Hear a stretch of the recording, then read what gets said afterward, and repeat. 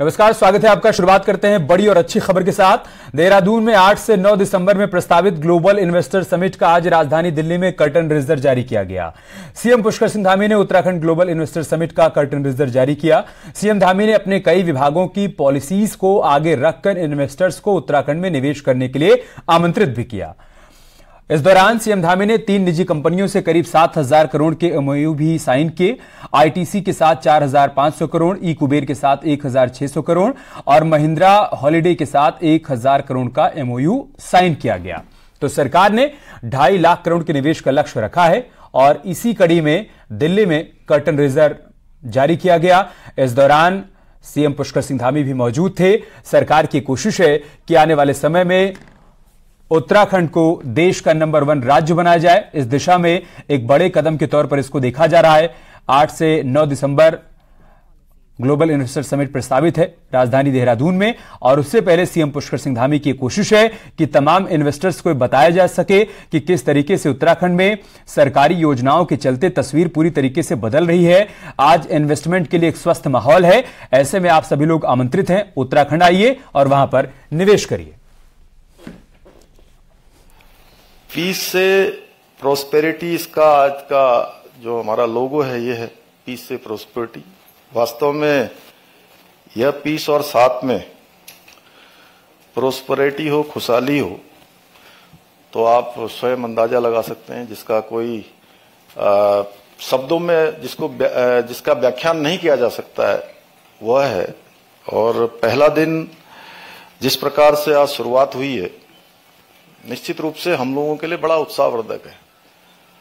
और मैं आपको बताऊँ कि जब से हमने ये शुरू किया और हमारे पूरी टीम ने ये विचार किया कि हम ग्लोबल इन्वेस्टर सबमिट करेंगे, उस दिन से कोई भी ऐसा दिन नहीं है जिस दिन हमको उत्साहजनक तरीके से लोगों ने प्रोत्साहित करने का काम न किया हो।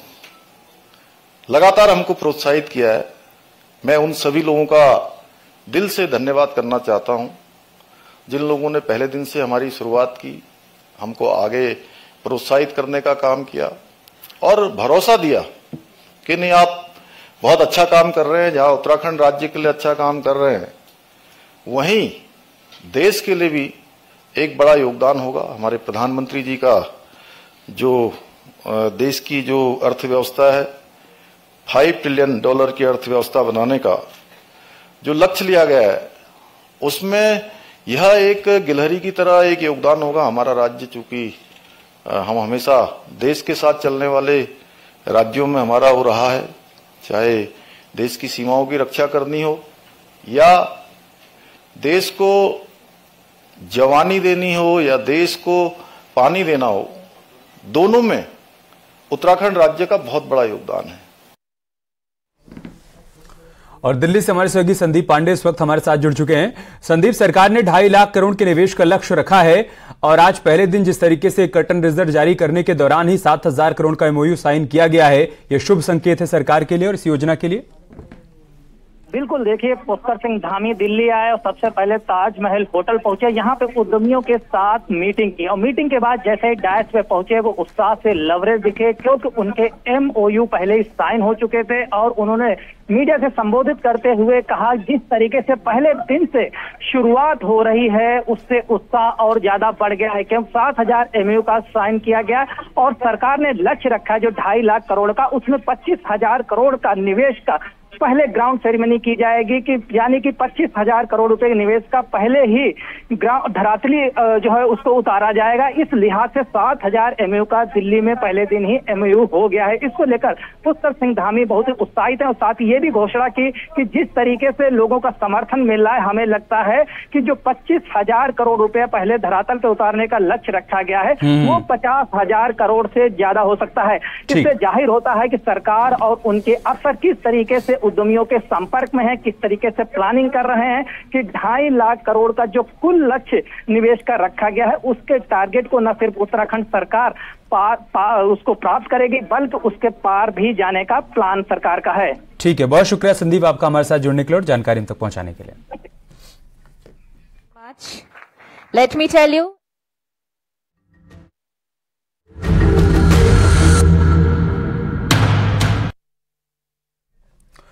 बुधवार को राज्य में डेंगू से एक व्यक्ति की जान चली गई। तिरपन नए मामलों के साथ ही राज्य में डेंगू के मरीजों का आंकड़ा तेरह सौ पार कर चुका है। देहरादून, नैनीताल, हरिद्वार, पौड़ी ऐसे चार ज़िले हैं जहाँ पर सबसे ज़्यादा केस सामने आए हैं। देहरादून के दून मेडिकल कॉलेज में 120 बेड के अलग से वार्ड बनाए गए हैं तो इस वक्त सभी पूरी तरीके से फुल हैं, ये जानकारी भी सामने आई है। मरीजों का यह कहना है कि अस्पताल में इलाज तो सही मिल रहा है, लेकिन शौचालय की स्थिति बहुत ही खराब है। कुछ मरीज़ तो सुलभ शौचालय का इस्तेमाल करने की बात कह रहे हैं। सबसे प्रॉब्लम यहाँ इस वार्ड में ये है कि जो टॉयलेट्स हैं बहुत गंदे हैं, बहुत गंदे। स्मेल आती है मतलब बैठना मुश्किल हो रहा है। और मॉर्निंग में मुझे तो यहाँ से सुलभ शौचालय जाना पड़ा नगर निगम के। यहाँ से इसी हालत में ये कैनोला लगा हुआ है तो ये स्थिति है। तो इस पर कम से कम हॉस्पिटल एडमिनिस्ट्रेशन को ध्यान देना चाहिए। तो डेंगू के हाहाकार से जनता त्रस्त है और विपक्ष ने इस पर सरकार को घेरना भी शुरू कर दिया है। ऐसे में बीजेपी ने डेंगू पर मोर्चा संभाला। कोविड की ही तरह डेंगू पर भी अब बीजेपी अपनी टीम बना रही है और ब्लड कैंप लगाने से लेकर डेंगू प्रभावित इलाकों में तमाम लोगों की मदद के लिए काम करने की तैयारी में है। प्लाज्मा डोनर के इंतज़ाम करने से लेकर पार्टी वर्कर्स को फ़ील्ड में उतारा जाएगा ताकि प्रभावितों की मदद की जा सके। कि जिस जनपद में, जिस व्यक्ति को, जिस दिन भी, जिस ग्रुप के ब्लड की आवश्यकता होगी, हम लोग ब्लड डोनेशन काम 18 तारीख को करने वाले और हमने स्वास्थ्य विभाग, क्योंकि सरकार में हमारे लोग हैं, और हमने आग्रह किया है कि जितनी भी आवश्यकता खून की होगी, हमारा कार्यकर्ता ब्लड डोनेशन करेगा। बीमारों के पास जाएँगे। बीमारों ने तो इनके कान के नीचे एक थप्पड़ मारनी चाहिए। सत्रह सौ रुपया आप ले रहे हो जिस आईसीयू का, उसमें ना एसी चल रहा है, ना पंखा चल रहा है। चार दिन से मैं लगातार इस बात कर रहा अभी तक ठीक नहीं हुआ। जब आपने प्रश्न उठा दिया, मैंने प्रश्न उठा दिया, उसके बाद स्वास्थ्य सचिव जो है अस्पताल का निरीक्षण करने पहुँच रहे। एक एक बेड पे दो दो हैं। प्राइवेट हॉस्पिटल्स में देखिए ना, गाड़ी पार्किंग की जगह बची है, ना मरीजों के लिए बेड बची है। ये हालात है। ग्यारह सौ का आंकड़ा सरकारी है। उसके अलावा जो प्राइवेट हॉस्पिटल्स में है, जो किसी तरीके से अपना इलाज करे, वो आंकड़ा नहीं है। वहीं डेंगू के बढ़ते प्रकोप को देखते हुए नगर निगम रुड़की भी अब अलर्ट मोड में नज़र आ रहा है। वहीं निगम को चार जोन में बांटा गया है और हर जोन में एक इंचार्ज नियुक्त किया गया है। साथ ही वार्ड में स्प्रे फॉगिंग भी की जा रही है। शहर में लार्वा को लेकर भी अभियान चलाया जा रहा है, जिसमें लार्वा मिलने पर चालान भी किया गया है। वहीं लोगों को जागरूक भी किया जा रहा है ताकि डेंगू से लोगों को बचाया जा सके। डेंगू को लेकर नगर निगम अभियान भी चला रहा है। निगम को चार जोन में बांटकर, हर जोन में एक इंचार्ज नियुक्त किया गया जो हमारा एसआई है और हर जोन में टैंकर और हर वार्ड में पेटी स्प्रे, फॉगिंग मशीन इसकी व्यवस्था की गई है। और देहरादून से हमारे सहयोगी भारती सकलानी इस वक्त हमारे साथ जुड़ चुकी हैं। भारती, जब केसेस अचानक से बढ़ने लगे, उसके बाद नगर निगम की भी नींद खुली और स्वास्थ्य महकमा भी हरकत में आया। तो कह सकते हैं कि देर से जागे, लेकिन क्या यह भी कह सकते हैं क्या कि दुरुस्त जागे?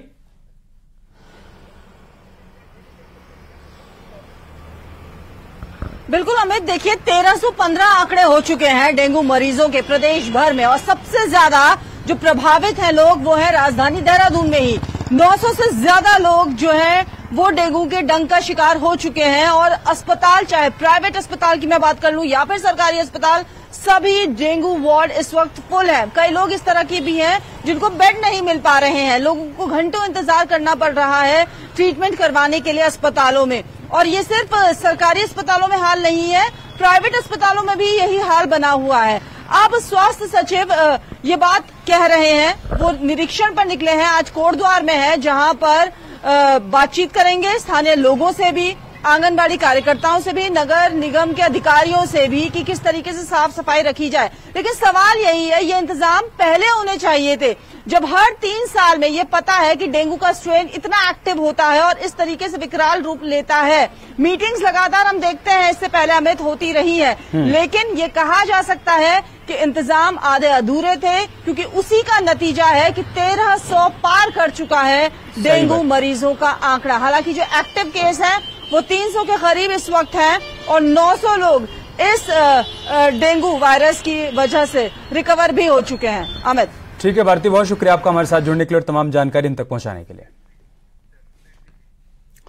और बात खटीमा की करते हैं, जहाँ पर दो टेलर्स पर आवासीय स्कूल में स्कूल ड्रेस की नाप लेने के बहाने बच्चियों से छेड़छाड़ का आरोप लगाए जिससे नाराज़ बच्चियों के परिजनों ने दोनों आरोपियों की चप्पलों से पिटाई कर दी। वहीं पुलिस ने आरोपियों के खिलाफ एफआईआर दर्ज कर जाँच पड़ताल शुरू कर दी है।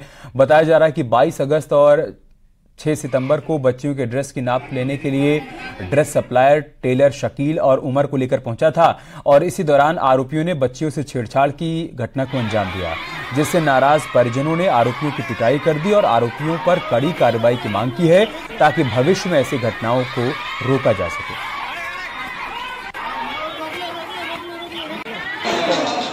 आपके होते हुए भी उन टेलरों के द्वारा, उन छात्राओं के साथ में बहुत ही ज़्यादा अभद्र, अश्लील हरकतें की गई।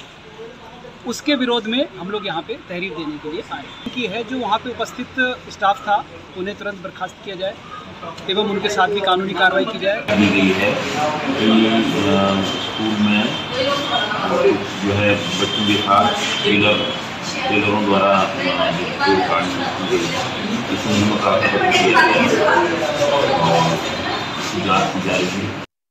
जा आरोप लगाया गया कि जो दर्जी यहाँ पर यूनिफॉर्म की नाप लेने के लिए यहाँ पर आए थे, उनके द्वारा उनके साथ बदतमीजी की गई।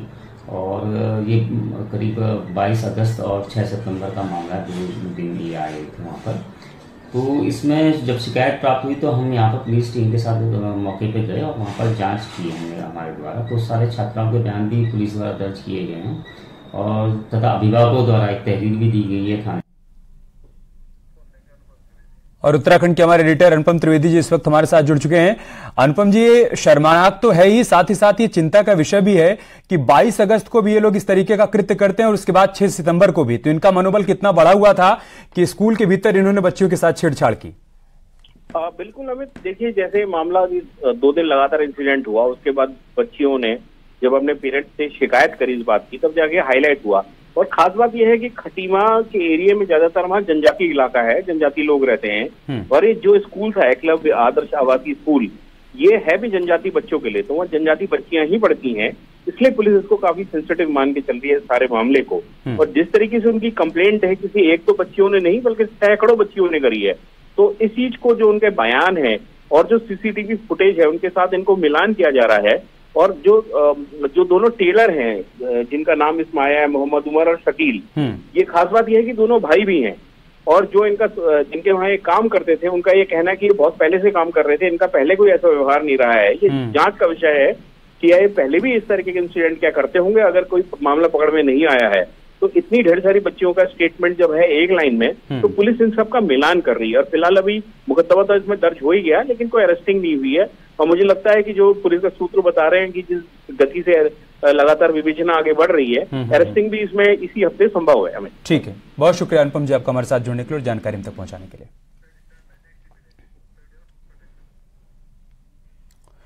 और एक बड़ी खबर चमोली से आ रही, जहाँ पर बद्रीनाथ धाम में पड़ी दरारों के ट्रीटमेंट का काम पूरा कर लिया गया है।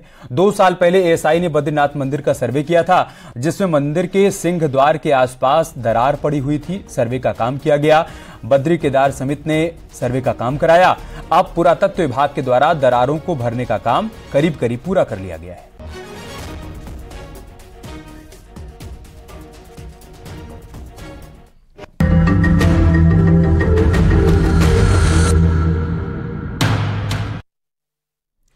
लोकसभा चुनाव को लेकर बीजेपी की ताबड़तोड़ बैठकों का दौर जारी है। देहरादून और हल्द्वानी के बाद आज बीजेपी तीसरा सम्मेलन अल्मोड़ा में कर रही है, जिसमें पिथौरागढ़, बागेश्वर और चंपावत ज़िले के जिला अध्यक्ष और महामंत्री भी शामिल हैं।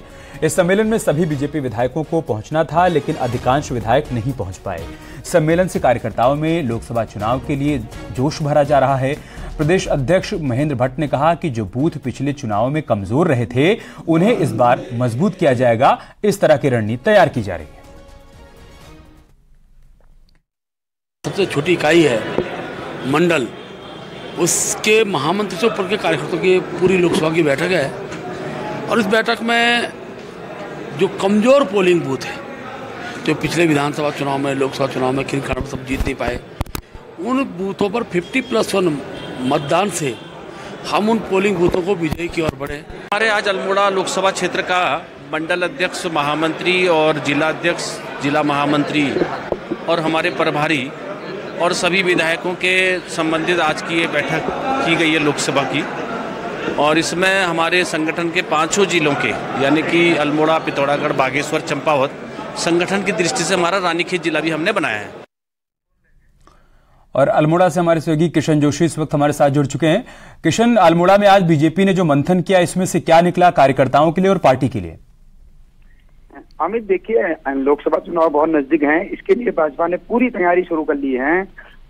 बूथ स्तर तक कार्यकर्ता को पहुँचने के लिए मंडल के ज़िले मंडल अध्यक्ष और महामंत्री को पूरी ज़िम्मेदारी दी गई है कि किस तरह से बूथ में कार्यकर्ताओं को जो है बूथ में अपने साथ जोड़ना है, किस तरह पन्ने के प्रमुख बना के अधिकांश लोगों को गाँव के अपने साथ जोड़ना है। इसके लिए रणनीति बनाकर निर्देश दिए गए हैं भाजपा प्रदेश अध्यक्ष द्वारा कि किस तरह से केंद्र सरकार और राज्य सरकार की जो लोक कल्याणकारी जनहित की नीतियाँ हैं, उनको जो है गाँव गाँव तक ले जाएँ, उनकी योजनाओं को गाँव गाँव तक ले जाएँ, जिससे जो है आने वाले लोकसभा चुनाव में लोग भाजपा को वोट दें, भाजपा का समर्थन करें। जी, अमित।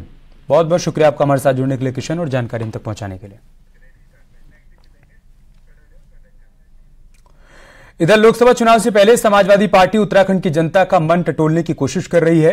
पार्टी के वरिष्ठ नेता और राष्ट्रीय सचिव राजेंद्र चौधरी अपने दो दिन के कुमाऊं दौरे पर पहुँचे।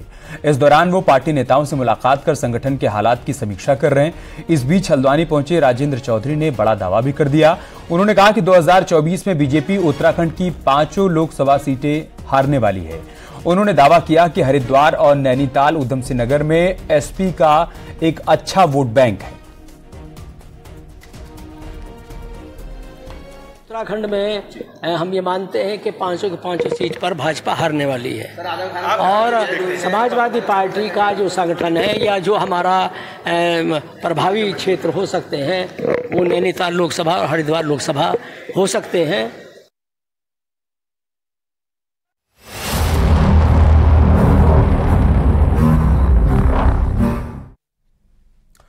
उत्तराखंड में अगले चार दिन तेज बारिश का अलर्ट जारी किया गया है। मौसम विज्ञान केंद्र ने छह जिलों में तेज बारिश का येलो अलर्ट जारी किया है और बारिश की आशंका जताई है। देहरादून नैनीताल चंपावत बागेश्वर चमोली पिथौरागढ़ के कई इलाकों में तेज बारिश की आशंका जताई गई है। 15, 16 और 17 तारीख तक प्रदेश में कई इलाकों में बारिश देखने को मिल सकती है।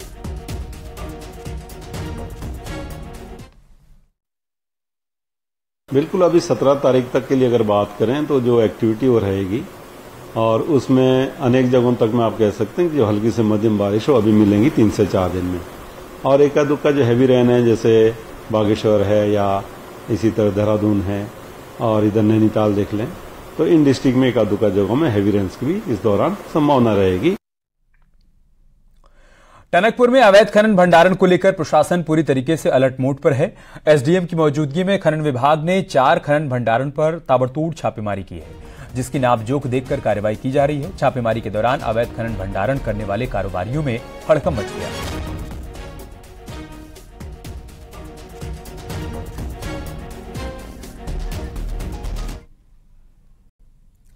यहाँ रुकने छोटे से ब्रेक के लिए जल्द लौटेंगे कुछ और खबरों के साथ।